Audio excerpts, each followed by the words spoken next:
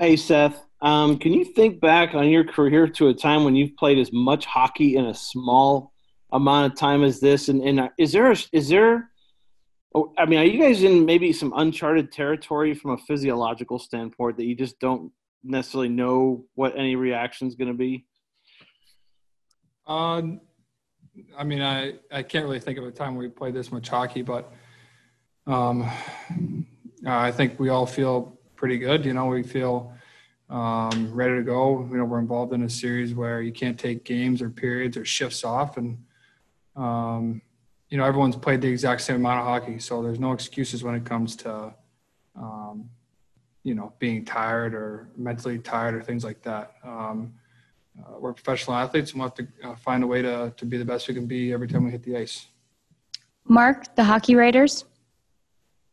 Hey, David. Um, the one thing that your team hasn't had to do in all of this is travel, like hop in an airplane and things like that. Just how beneficial has that been when you're trying to recover from all the hockey you've played?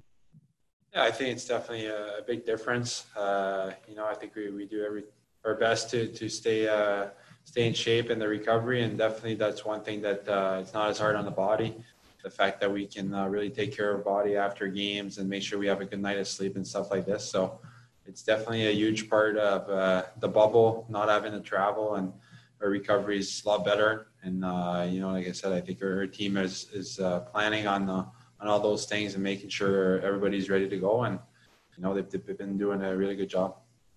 Next question, Sean Farrell, NHL.com. If, if, each of you could answer this question, John uh, just talked about uh, the comments he made post game, and he uh, made it clear that it wasn't about giving anybody an out.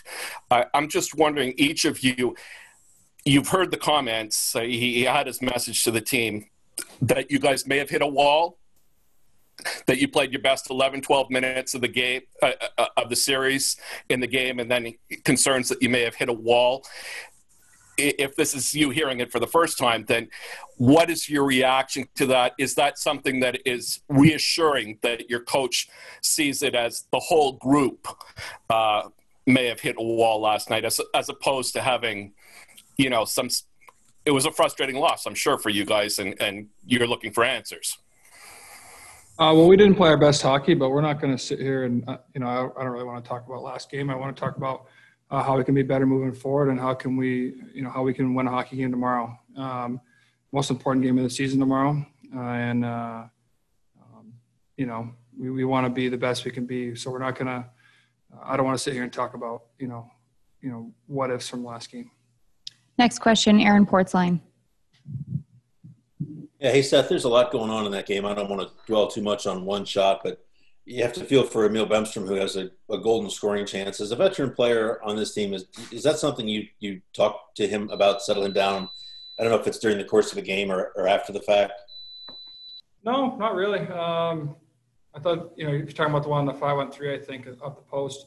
Um, it's a good try. You know, um, it's an open net and uh, he gets great wood on it. Uh, I'm sure he'd like to have the shot back.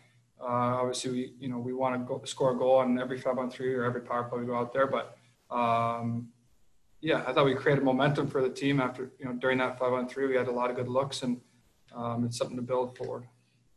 We'll take a few more for the guys. Mike Zeisberger. Yeah, this is for Seth. Um, Seth, John Jon Cooper said the other day that in this series, um, you know, there's there's such premier defensemen out there, and he said about you and Victor, we're not only seeing some of the premier defensemen in the series in the game today, but we might be seeing, um, you know, premier defensemen who have ever played the game. Um, just your reaction to that, and just your appreciation to have a series with somebody like yourself and Victor and Victor and even Zach, the quality of players at your position. Yeah, um, it's honestly a, a, a, big honor hearing that from you know the opposing team's coach, and um, I try to go out and play the best I can every night. But I think you know, you, sure you could also ask Victor this question. It's much more than just us uh, in this series, and um, you know, there's a you know our D is a big part of our team. Um, you know, Savvy here, like you said, Zach. Uh, we have a very deep D corps, and you know we do a lot of different things in our back end. But it's a team game. Uh, you know, me or Victor or um, you know, one forward can't win this series by himself. So uh, we play in that team concept, and and I'm sure you'd say, you know, the same thing as I would. Is you know, we try to be the best for our team every night, and um, you know, whatever that is, offensively or defensively, we want to um, be a lead at what we do. We'll take a follow up from Brian Hedger.